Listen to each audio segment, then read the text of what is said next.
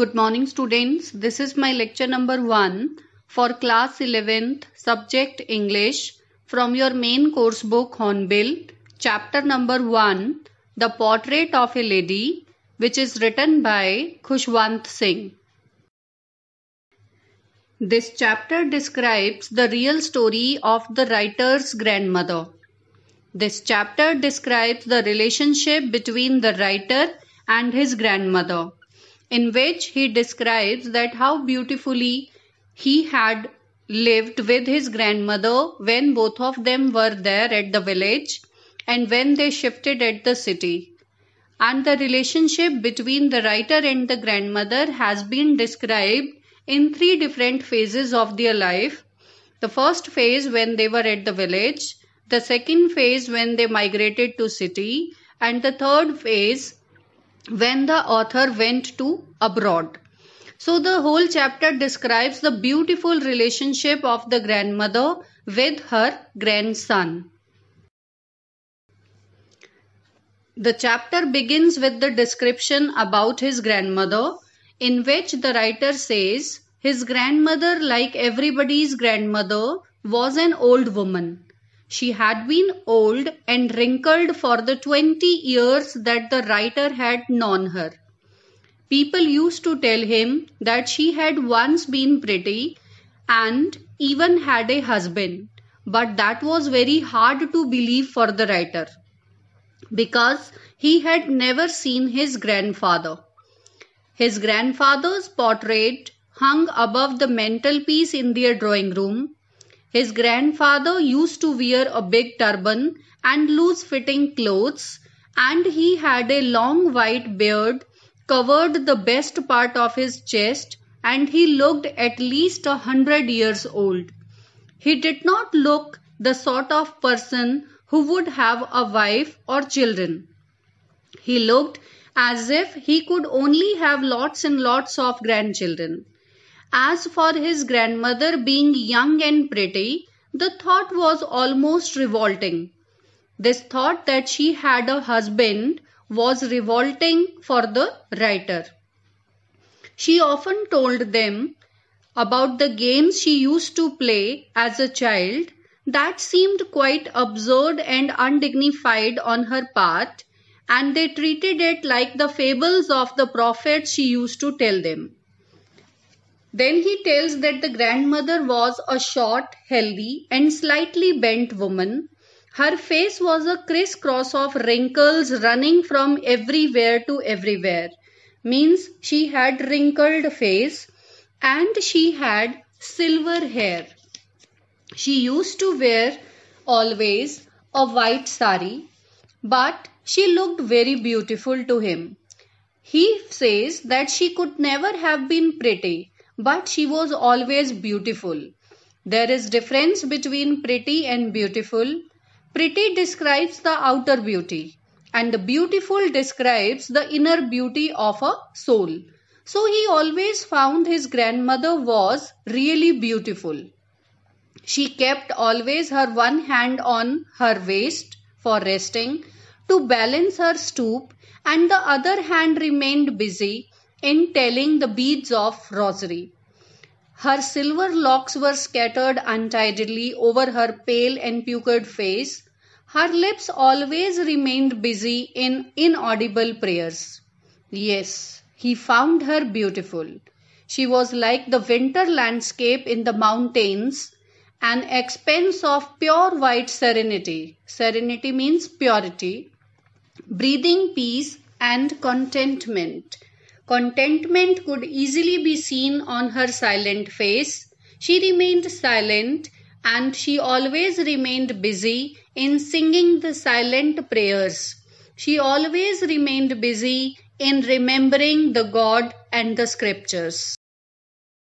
In the first phase of their life, they stayed at village and he knew that both of them were good friends. The author's grand, uh, the author's parents left him with the grandmother when they went to live in the city, and they were constantly together, the writer and his grandmother. The grandmother used to get him ready for school.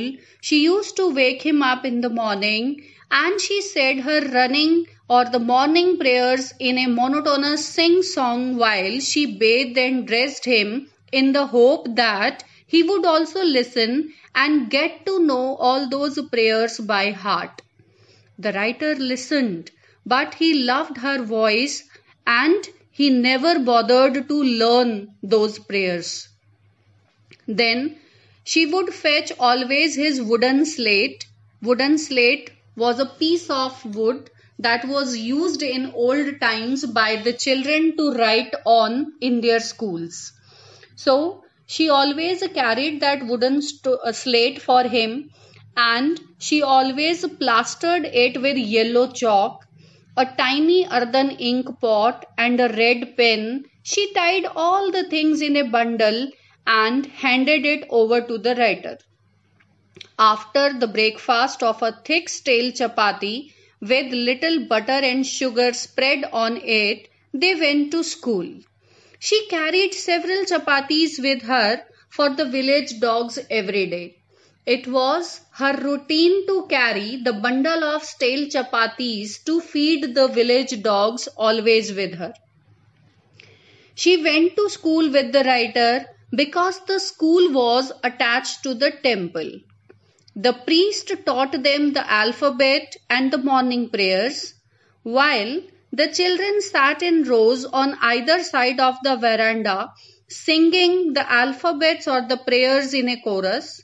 His grandmother sat inside reading the scriptures. When their morning time or the school time finished, both of them would walk back together. This time they would meet the village dogs and at the temple door they would feed those village dogs. The village dogs used to follow them to their home, growling and fighting with each other for the chapatis which they threw to them.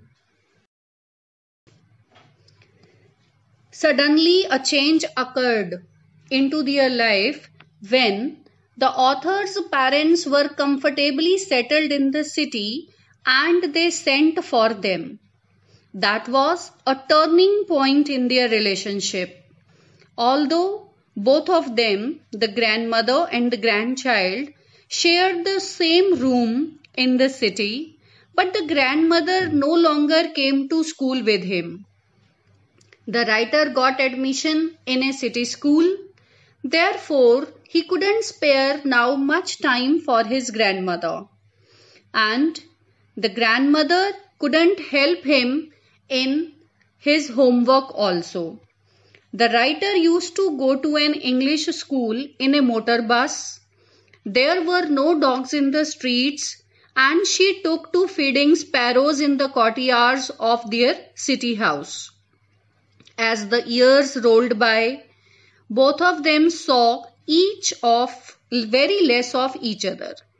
For some time she continued to wake him up, get him ready for school, but when he came back, she would ask him what the teacher had taught him in the city school.